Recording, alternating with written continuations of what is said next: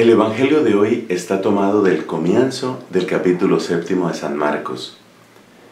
El tema que aparece inmediatamente es el contraste entre el mandamiento de Dios y las tradiciones puramente humanas. Efectivamente, lo que Cristo critica en los fariseos es que ellos, en su afán de cumplir estrictamente toda la ley, ponían un estándar al cual ni siquiera ellos mismos llegaban. Entonces empezaban a hacer trampa, cambiando, reinterpretando partes de la ley de manera que si pudieran cumplirlas. Es decir, querían aparecer al mismo tiempo como estrictos, pero en el fondo sabían cómo retorcer las palabras para darse los permisos que les parecían necesarios. Guardaban así una fachada de gente observante, pura, santa, pero por dentro tenían una gran cantidad de inconsistencias, trampas mentales, manejo de las palabras para salirse con la suya. Este doble juego, esta hipocresía, le fastidia a Jesucristo. Jesucristo, sencillo y limpio de corazón, Jesucristo, verdadero, transparente, luz de luz, como lo llamamos en el credo, no puede tolerar esta hipocresía y por eso la denuncia. Ese es el tema principal. Un tema que indudablemente sirve de advertencia también para nosotros, porque muchas veces estamos tentados de hacer creer a la gente algo que en realidad no somos. Eso de aparentar no quedó únicamente en el siglo I, estamos en el siglo XXI y creo que sigue sucediendo y creo que muchos de nosotros de una o de otra forma hemos caído en eso, así que es un tema actual. Y sin embargo hay otro tema que yo quisiera destacar también. Observemos que de algún modo los fariseos querían hacer creer a los demás, pero también convencerse ellos mismos de que estaban del lado de los buenos. Esa frase quisiera que la tomáramos muy a fondo.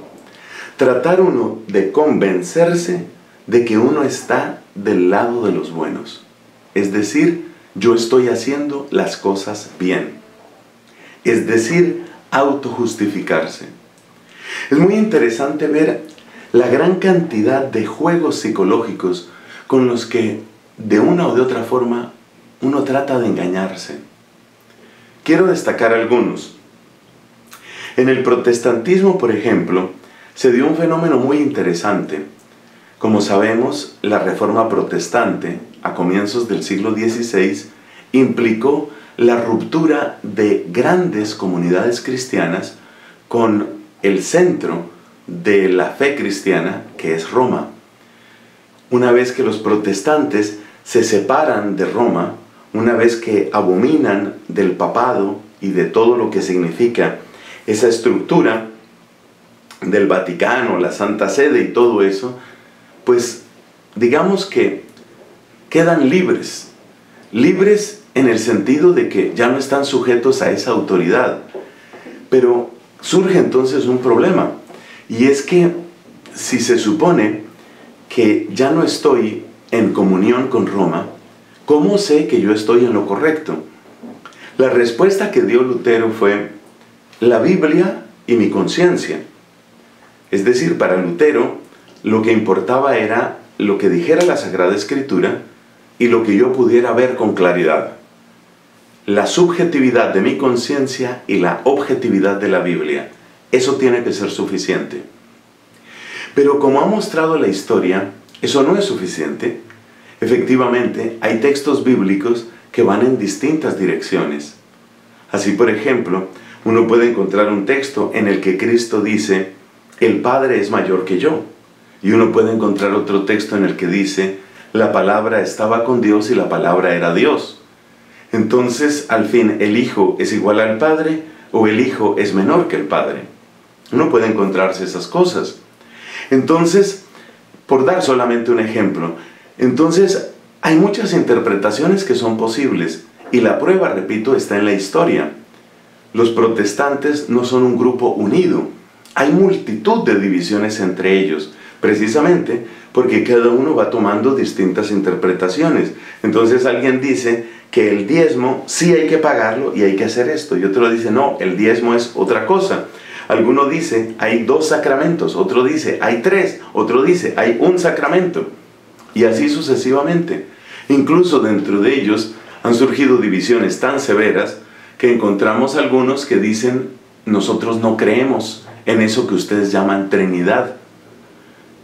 Eso demuestra que una vez que se han separado del centro de unidad, que es el sucesor de Pedro, una vez que se han separado del Papa, entonces es muy difícil seguir uno simplemente con la expresión de Lutero, mi Biblia y mi conciencia, porque alguien podría decir, pues, la Biblia y la conciencia te dicen a ti una cosa, la Biblia y la conciencia le dicen a otro otra. Entonces, ¿qué van a hacer? ¿Van a, pelear entre ustedes?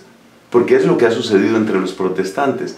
Entonces los protestantes han tenido que buscar otro tipo de seguridad. ¿Cómo sé que Dios realmente está conmigo? Y como lo demuestran diversos estudios, una de las seguridades que han buscado es la prosperidad. Yo sé que Dios está conmigo porque Dios me bendice. Y yo sé que Dios me bendice porque mis negocios van bien, porque mi familia está bien, porque mi salud está bien. De manera que este tema es muy interesante y daría para muchas más reflexiones.